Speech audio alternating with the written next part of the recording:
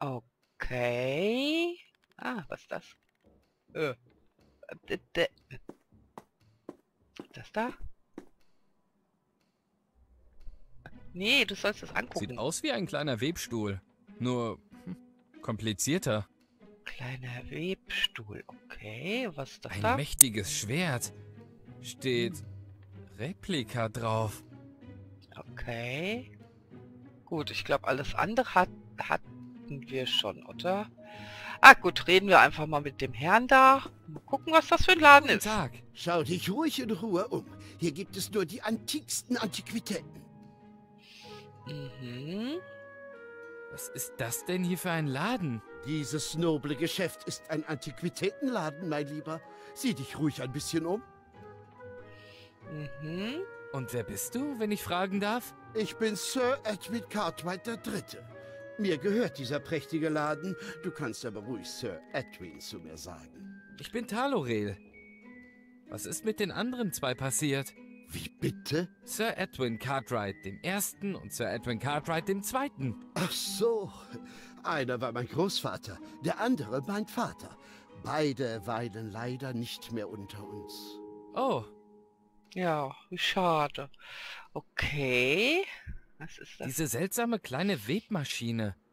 Wofür ist die denn? Das ist nicht irgendeine kleine Webmaschine. Das ist eine originale Toupet-Webmaschine. Ach, Du musst wissen, Toupet-Webmaschinen haben eine besondere feinmechanische Präzision, die es erlaubt, möglichst echt aussehende Haarteile zu fertigen. Mit dieser Toupet-Webmaschine gewebte Haarteile würde niemals jemand als Toupet erkennen. Toupets von dieser Webmaschine sehen aus wie absolut echtes Haar. Die brauchen wir.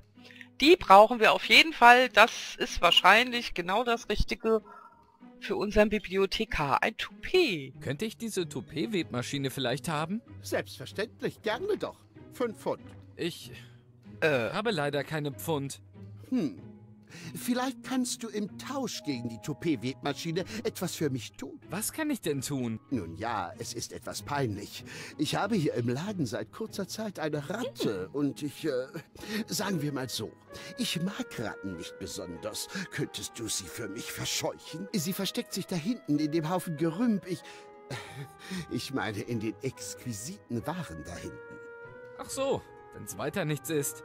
Das mache ich doch gerne. Prima. ja. Dann verscheuch die Ratte und ich gebe dir dafür die Toupet-Webmaschine. Das ist doch mal ein Geschäft. Ja, finde ich auch. Das ist super. Aber wir fragen noch nach dem anderen Gerät kurz. Dieses komische Gerät dort. Was ist denn das? ist ein Einkammer-Homunkulator XL3000. Hübsch, oder? Ein was? Ein Homunkulator, sogar mit Bedienungsanleitung. Damit kann man sich wohl einen Homunculus selber bauen. So eine kleine seelenlose Kreatur. Und funktioniert der denn? Also, es ist wohl mehr als Partyartikel zu betrachten. Wieso das? Nun ja, einige der Zutaten sind eher albern und wohl doch als Spaß zu verstehen. Beispielsweise der Odem eines Engels. Das ist natürlich Blödsinn. Also, Talorel? Mhm. Okay, ich ahne da schon, worauf das hinausläuft. Wir ich werden dann mal. Dann auf ein Wiedersehen. das hier wahrscheinlich auch gebrauchen. Wir haben ja schon das Buch über so einen Horum Homunculus. Ähm, aber zuerst brauchen wir die Webmaschine. Und das heißt, wir müssen die Ratte... Ähm, die Ratte irgendwie. Ja, komm mal her. Käse und Ratte. Hoffentlich passt das genauso zusammen wie Maus und Ratte. Käse. Ähm, wo ist die Ratte? Wo stellen wir den Käse hin? Keine Ahnung. Womit fangen wir die Ratte? Ähm, kann man den Käse einfach mal so hinstellen? Mhm.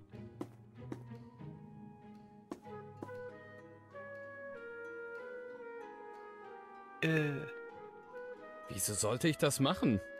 ja, ich sehe da gerade was, aber was ist das denn? Da ist diese Ratte ja, die ich für Sir Edwin verscheuchen soll. Okay. Schade, dass er nicht mit ihr reden kann, dass der sie nicht fangen kann. Das dürfte unsere Ratte sein. Na dann, mach mal. Nee, nee, nee, nee. Komm, fangen Sie, ich fangen Sie. es nicht. Das ist die Ratte, die diese kleine Rotzgöre Mara Ja. mit dem Schnipsel vom Bauplan hat wegrennen sehen. Worauf wartest du noch? Hinterher! Ja, auf, schnell, beeil dich. Hopp, hopp. Ach Gott, nee. Ich wollte die fangen. Oh nein. Sie ist in dieses Loch da verschwunden. Vermutlich ist das ihr Bau. Immerhin wissen wir jetzt, wo sie ist. So wie du die erschreckt hast, kommt die da erstmal nicht raus. Hm. Der Bau der Ratte, die sich einen der drei Schnipsel des Bauplans unter den Nagel gerissen hat. Jetzt wissen wir immerhin, wo sie ist. Und so wie du die erschreckt hast, kommt die da so schnell nicht wieder raus. Okay. Kann man trotzdem mit ihr reden? Ähm, hallo? Wo? Liebe kleine Ratte. Äh, hallo? Würdest du da vielleicht mal rauskommen? Nein, kein Interesse. Du hattest da aber eben einen Schnipsel Papier in der Schnauze. Den brauchst du doch sicher nicht mehr. Erst mich fast zu Tode erschrecken und dann was von mir wollen. Kein Interesse. Hm, schätze, so kommen wir da nicht weiter. Vielleicht sollten wir uns erstmal um den Schnipsel des Bauplans kümmern, der auf einer der Koffeinshampoo-Flaschen klebt. Mhm.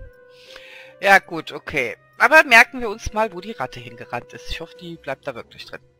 Ah, Mann, wie doof. Ich hätte die gerne direkt eingefangen. Aber naja, gehört wohl zum Spiel. So, jetzt kriegen wir hoffentlich die, ähm, Dings. Müssen wir mit ihm nochmal reden? Guten Tag, Sir Edwin. Hallo. Mhm. Ich habe die Ratte verscheucht. verscheucht. Wundervoll. Das ist wirklich großartig. Tausend Dank dafür. Nimm dir die Webmaschine einfach. Sie steht da vorne. Und viel Spaß damit. Mhm. Ich gehe dann mal. Dann auf ein Wiedersehen. Entschuldigung. Dann nehme ich das Ding mal mit. Ja. Wow, schwerer als gedacht. Okay, jetzt müssten wir nur noch wissen, wie man ein Toupet damit webt. Hm, na vielleicht haben wir ja Glück. Und in dem anderen Laden oder so ist wer, der uns helfen kann. Aber wir können die ja erstmal angucken. Eine außergewöhnlich großartige Toupet-Webmaschine. Mhm. Ja. Gehen wir mal hier rein, da waren wir auch noch nicht.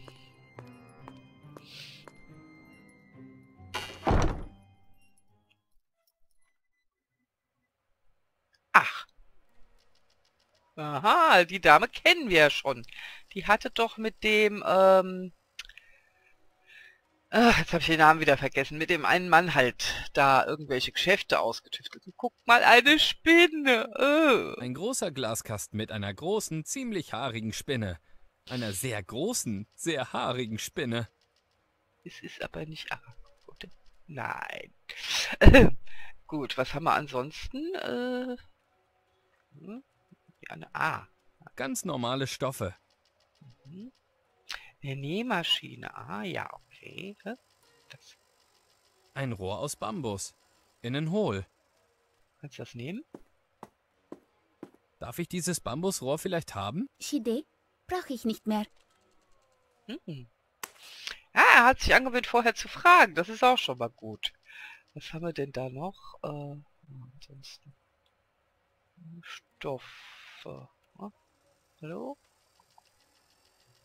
Ist, irgendwie ist die Maussteuerung komisch. Ganz normale Stoffe. Okay. Ähm, okay, gut, dann reden wir mal mit der Dame. Vielleicht kann die uns helfen. Hallo. Ni hao, Wie bitte? ni hao. Ni hao. Hallo. Was ist das denn hier für ein Laden? Dieser Laden ist meine Seidenschneiderei. Zu euren Diensten. Und was machst du hier so? Seidenschneidern. Hm? Okay. Das ist aber ein beeindruckendes Tier. Da im Glaskasten. Ah, wirklich beeindruckendes Tier. Eine chinesische Fellspinne. Wundervolles Tier. Aber sehr empfindlich, erkältet sich schnell und wenn niest, verlieren ihr Fell. Aha, okay. Fellspinne, äh, ja, beeindruckendes Fell und darf nicht niesen. Wir brauchen doch bestimmt irgendwas, womit wir das Toupet da machen mal. können. Okay, können wir das direkt ausprobieren? Ja, mal gucken. Hm, Wir brauchen Niespulver, Bambusrohr und, ähm, nee.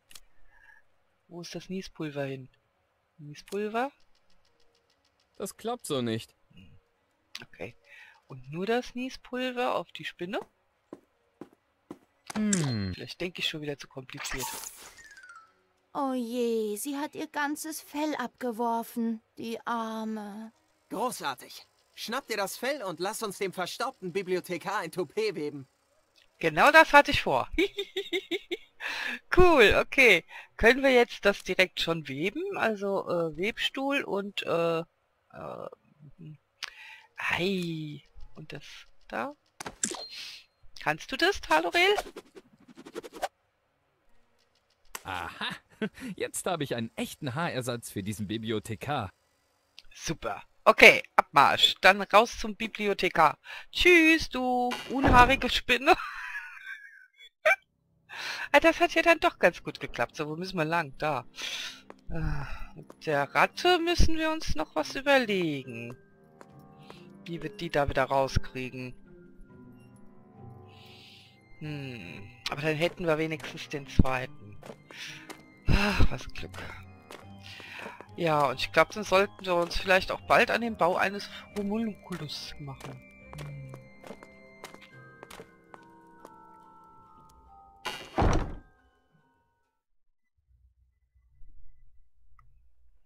Okay, ähm, ja.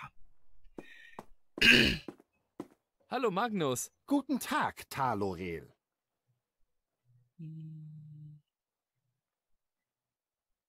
Magnus, ich habe hier ein Toupet für dich.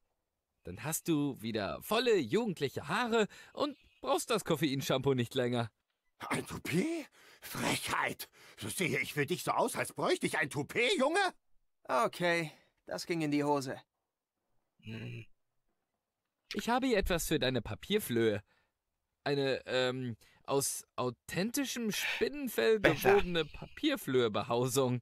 Und was bitte soll ich damit anfangen? Soll ich den kleinen Biestern hier jetzt auch noch gemütlich machen? Nein, ich dachte, also, wenn du den Papierflöhen ein neues Zuhause anbietest, dann gehen sie da rein. Und du musst sie nicht mehr aufwendig immer und immer und immer wieder aus deinen kostbaren Büchern vertreiben. Ah, das ist wirklich klug. Dann gibt das äh, die Papierflöhebehausung. Darf ich jetzt die Flasche haben? Du brauchst sie ja dann nicht mehr. Äh, ja, natürlich. Bitteschön. Das Zeug riecht sowieso komisch. Das ist die richtige Flasche. Die mit dem Bauplanschnipsel drauf. Bring sie am besten schnell zu Blumfort. Yes! Dankeschön! Ach, super! Hehe. Ja, das gefällt mir doch mal. Also ab zu Blumenfort, ihm diesen Schnipsel geben und dann müssen wir uns einfallen lassen, wie wir das mit der Ratte hinkriegen. Oh Gott, oh Gott. Heiligsblechle. Aber es macht echt Spaß, das zu spielen. Und ich hoffe, euch macht das genauso viel Spaß zuzuschauen. Und ich stelle mich hier nicht allzu dämlich an. So. Hallo, wir haben den nächsten Schnipsel. Hallo Blumfort. Hallo Talorel. Wie kann ich dir helfen? Ich habe den Schnipsel des Bauplans, der in Richtung Stadtrand davongeflogen ist. Karim hatte ihn aus Versehen auf eine seiner Koffein-Shampoo-Flaschen etikettiert und dann an Magnus verkauft. Hier hast du die Flasche. Sehr gut, mein Junge. Jetzt musst du nur noch den Schnipsel auftreiben, den sich die Ratte unter den Nagel gerissen hat. Ja, und das wird bestimmt nicht ganz so einfach werden. Gut, okay. So, da wir ja jetzt gerade noch mal hier sind, dachte ich, ich gucke mich hier noch mal ein bisschen um. Vielleicht haben wir hier noch irgendwas übersehen, was wir gebrauchen können. Was ist das zum Ein Beispiel? seltsamer Apparat. Mhm. Dem können wir nichts machen. Und was ist das da? Kann man das irgendwie... Oh, mit Hebeln. Ja, ich weiß nicht, ob ich da dran rumfummeln soll. Ah, da hinten ging's... Ah, stimmt, ist Hinterzimmer. Ich glaube, ich könnte noch irgendwas übersehen haben da. Wollte ich mir noch mal Flugmaschine angucken. Hm. Ah, war der mit... War das vorhin das letzte Mal auch schon hier? Äh, der hatte hier gestanden, der, der äh, Blumfort, das habe ich glaube ich gar nicht so wahrgenommen. Das ist die Flugmaschine, das ist irgend so ein Ding, das haben wir noch Ein nicht Haufen angeguckt. Zeug. Ein Haufen Zeug. Kannst du da was mitnehmen, Werkzeug oder so? Was Vielleicht sollte ich denn damit anfangen? Ja, weiß doch ich nicht, vielleicht braucht man mal irgendein Werkzeug. Aber du willst wohl nichts. Ähm, das Seil hatten wir Die schon Seile sind vermutlich auch für die Flugmaschine. Ja, und was ist das da hinten? Ach, guck mal, da ist noch Ein was. Schälchen mit blauer Farbe. Kannst du das vielleicht mitnehmen? Das gehört Blumfort, das kannst du nicht einfach einstecken. Ja und? Doch egal. Farbe kann man immer gebrauchen. Das ist Diebstahl. Nein, wir borgen uns das nur aus. Okay, äh, was haben wir denn sonst noch? Das hatten wir uns schon angeguckt, ne? Sieht aus wie so eine Karotte. Interessant. Aha. Gut, haben wir jetzt hier noch irgendwas? Ich will ja nicht dauernd alles übersehen. Da geht's raus, das hatten wir, das hatten wir. Äh, das, das, das. Ne, mehr gibt's glaube ich nicht. Okay. Gut, dann gehen wir mal wieder ins Labor zurück. Gucken da auch noch mal kurz rum. Nicht, dass ich hier irgendwas Wichtiges übersehe. Und dann müssen wir uns um die Ratte kümmern. So. Da haben wir den Ausgang. Das hatten wir getrunken. Hier kann man irgendwas mitmachen. Das haben wir angeguckt. Kaktus und sonst nichts. Okay. Schauen wir doch mal auf unseren Zettel hier. Oh, Kundenliste, genau. Koffeinshampoo, eine Flasche an Bill, eine an Bartomeus und eine an Magnus. Das ist abgehakt. Wir brauchen also wirklich nur noch hier das, die Ratte. Ja, dann wollen wir doch mal schauen. Haben wir alles im Inventar? Wir haben jetzt Farbe im Inventar. Vielleicht hilft uns die irgendwie. Wir haben dieses Webdings da, äh, Strafzettel, das Seidenteil, die Zwille, Bad Shampoo-Flasche, Kundenliste, ähm, Streichhölzer. Ah, ja genau, wir haben noch die Flasche mit dem Bohneneintopf, unsere Todesmauserfahrung da. unsere Maus mit Todeserfahrung, so rum. Und Käse, ja. Und sonst nichts, ne? Okay, gut. Ja, dann schauen wir mal, was die Ratte sagt. Vielleicht erzählt sie uns ja jetzt was. hm. Mal gucken. Bin schon ganz neugierig. Ah, da geht's lang, genau. Hallo. Joffrey. Wie fleißig der immer die Lampen anzündet. oh! Äh, war der letztes Mal auch schon da? Ich weiß gar nicht. Gucken wir uns den mal an. Der sieht, ähm, mitgenommen aus. Ja, so ein Bettler. Ich kann das nicht lesen. Was steht Da da? steht, tue Buße. Das Ende ist nahe. Oh Gott. Na, ich hoffe doch nicht. Können wir den mal ansprechen? Äh, hallo? Ich... Ich glaube, der will nicht mit dir reden. Ich weiß nicht, ob der reden kann. Hm. Ja, es sieht jedenfalls ziemlich gebeutelt aus, der arme Mann. Na gut, okay, gucken wir mal. Äh, da war die Ratte drin verschwunden, ne? Der Bau der Ratte, die sich einen der drei Schnipsel des Bauplans unter den Nagel gerissen hat. Irgendwie müssen wir die da rausbekommen. Rausbekommen. Äh, hallo, ich... Kein Interesse. Hm, schätze, so kommen wir da nicht weiter. Wir müssen irgendeinen Weg finden, sie da rauszujagen. Hm.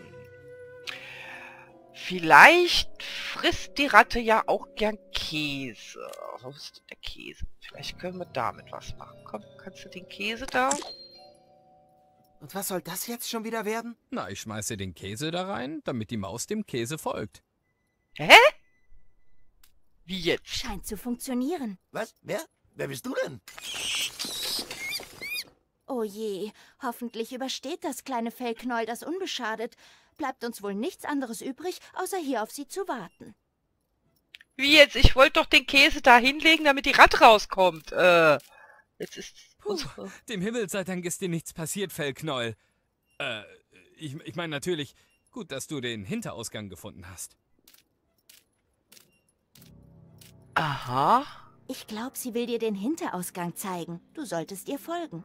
Ach so, okay. Ja gut, dann ab hinterher, natürlich. Äh, ja, wie gesagt, so war das jetzt gar nicht gedacht gewesen von mir, aber so gut. Wenn wir jetzt den Hinterausgang vom Bau der Ratte erfahren, ist das auch gut. Ja, dann komm her. Wo geht's lang? Ah, da, okay. Hm. Hallo, äh, muss da nicht irgendwo... Oh, ich sehe es wieder nicht. Äh, äh, Stadtrand? Okay. Maus, warte auf uns. Ich bin nicht so schnell. okay, mal gucken, wo wir jetzt hinkommen. Okay, da ist die Maus. Irgendwo hier. Okay. Ab in den Wald. Ja, das würde passen. Ratte im Wald. Hallo? Uhu. Geht's weiter? Ah. Mhm. Ja. Die Ratte hat sich versteckt. Und jetzt? Wo ist unsere Maus? Ah, hier. Komm her. Ja, wird das vielleicht der Hinterausgang sein? Aha.